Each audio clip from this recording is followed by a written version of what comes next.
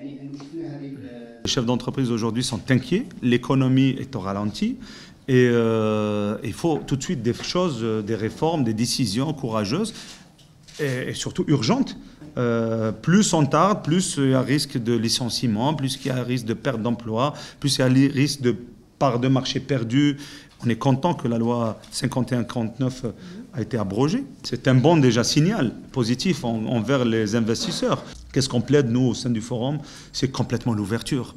Il n'est pas normal aujourd'hui qu'on ait des secteurs complets qui dépendent d'une autorisation, qui dépendent de 3-4 acteurs. On a créé des monopoles pour rien. Aujourd'hui, on voit que réellement, sur le plan économique, qu'est-ce que ça a apporté Rien.